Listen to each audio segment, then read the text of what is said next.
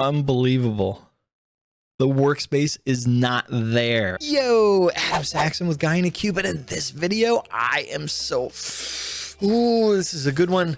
We are going to look at how do we block classic workspaces from getting created in the tenant, including from Microsoft Teams. Stay tuned.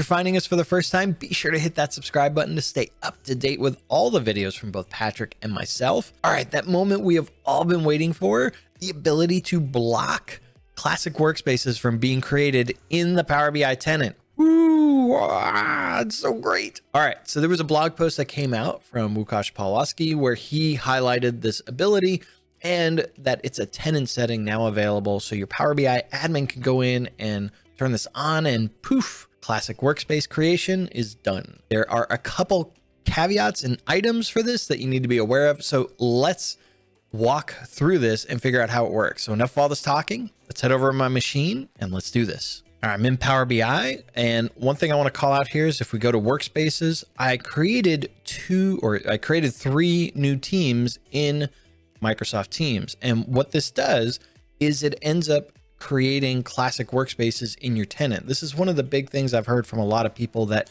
they want to stop, right? They want to be able to block this from uh, actual creation inside of Power BI because it just creates all these workspaces that people don't use. So how do we do this?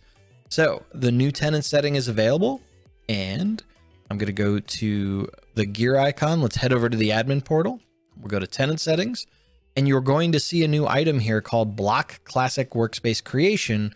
By default, it's disabled for the entire organization.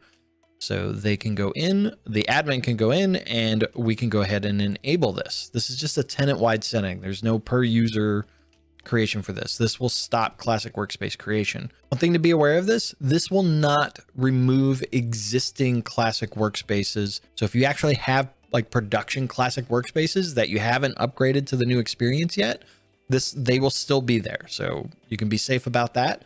Don't actually uh, worry about them going away. They will all your data is not going to be deleted. All right. All right. So let's go ahead and hit apply.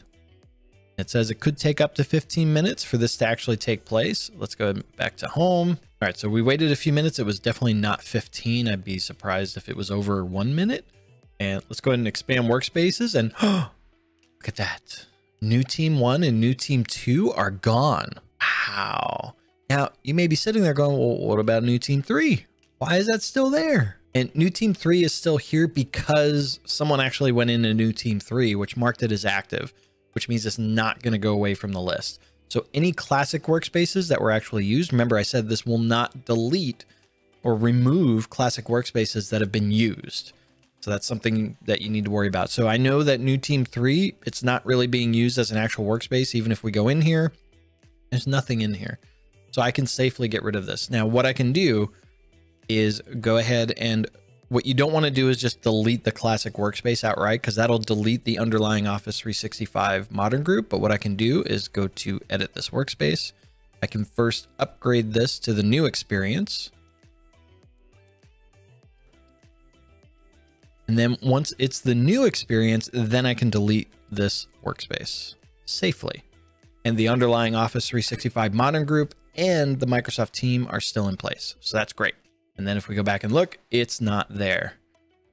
So now the moment of truth. Let's create a new team. So I'm going to create a new team. I'm going to go create it.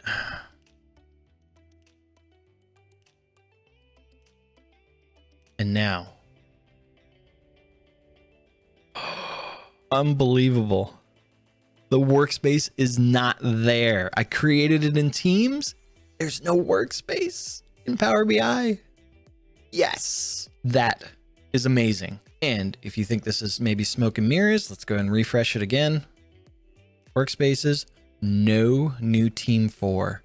It did not create the classic workspace in Power BI. This is amazing. So we can create, folks can create teams in Microsoft Teams now. If that tenant setting is blocked, that will not create a classic workspace. Oh, it's a beautiful thing. It's a beautiful thing. So this is now something we can use inside of Power BI. We can block classic workspace creation, this will automatically hide any classic workspaces that have not been touched. If you've been having those teams get created in your organization, it's creating those classic workspaces and they've just been sitting there, they will just automatically disappear. If someone actually went into that workspace, it will still be in the list. So you'll have to go upgrade that to the new V2 workspace, and then you can safely delete that workspace. Make sure you do that upgrade first. Otherwise, the team and any underlying data could be gone. All right, I want to hand this over to you. What do you think? This this just amazing and bananas. This is great. Let me know in the comments below what you think. If you like this video, be sure to hit that big thumbs up button, smash it if you so desire. If it's your first time here, hit that subscribe button. And as always, from both Patrick and myself, thank you so much for watching. Keep being awesome, and we'll see you in the next video.